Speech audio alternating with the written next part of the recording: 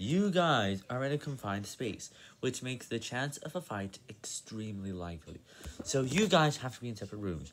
But here, because there's no choice but to put you all guys in two and three, because we're family five, there's just no other way to put you guys. And that really makes me fight so often with you guys. It's too high. It's a really bad thing to be in.